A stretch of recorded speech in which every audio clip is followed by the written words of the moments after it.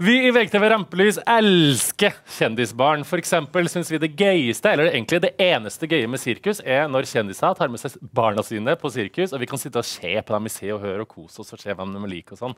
Og ikke minst elsker vi når barna følger i foreldrenes kjendisfotspor. Og nå tar sønnen til Thomas Numme, Magnus, grepet fatt og starter sitt eget TV-program.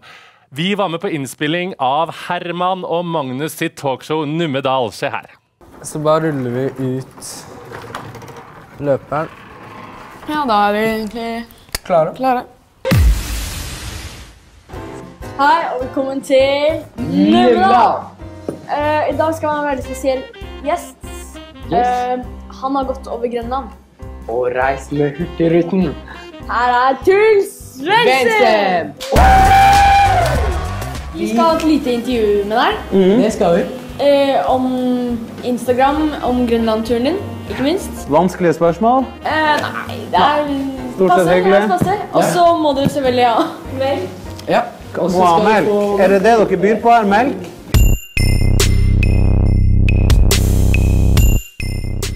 Beskriv talkshowet deres. Det er vel eh, litt sånn eh, Ja, det er talkshow-aktig, rett og slett. Litt sånn ja, garasjetalkshow. gra Litt sånn garasjeaktig.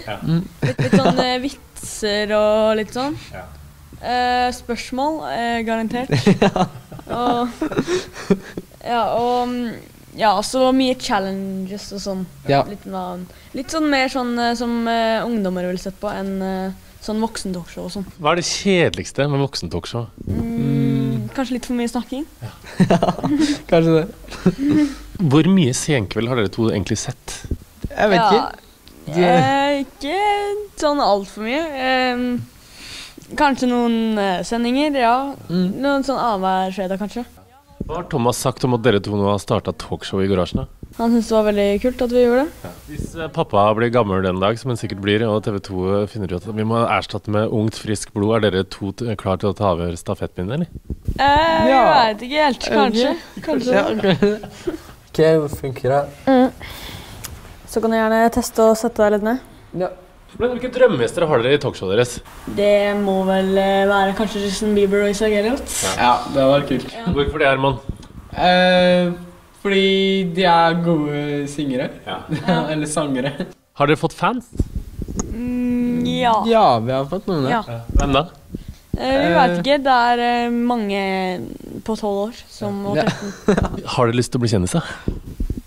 Kanskje Ja. youtubere. Ja, youtubere. Ja, sånn YouTube-kjendis, kanskje. Ja, YouTube-kjendis. We are going to show you some. Show, show you some. We are going to show you some. Are you ready?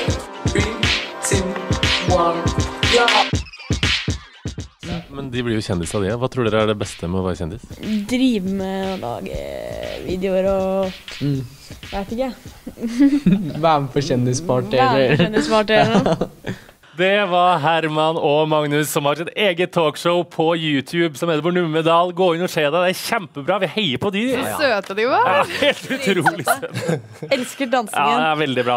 Vi må generalisere bitte lite grann her nå. Eh, Ikke det at eh, Magnus og Thomas Numme er det beste eksempelet, men det er ofte sånn at barn av kjendiser ofte, ofte blir kjendiser sjøl. Vi har jo Linn Skåber, vi har Nils Ole Oftebro, vi har Dorte Skappel, vi har Skavlan-familien, for å nevne noen. Ingvild, hvorfor er det ofte sånn at liksom, kjendisers barn følger eh, sine foreldres fotspor?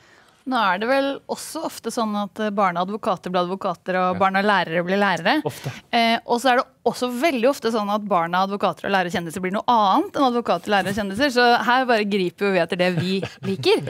Men poenget er vel at de som blir det, de er så ekstremt tydelige. Fordi vi elsker det. Ja. Da har vi en kobling til noen kjente fra før av, og så kan vi spørre om forholdet til eh, foreldrene. Mm. Helt til slutt, har dere kjendisslekt? Nei. Ikke? Nei. Er en anarkistisk forfatter langt tilbake. Oi, bra. Jeg er i slekt med Vebjørn Rodal. Så faren min tror at det er veldig raskt å springe. Det er egentlig ikke, men eh, vi er i slekt. Så jeg vant denne konkurransen. Ja, så bra. Gratulerer til meg med det.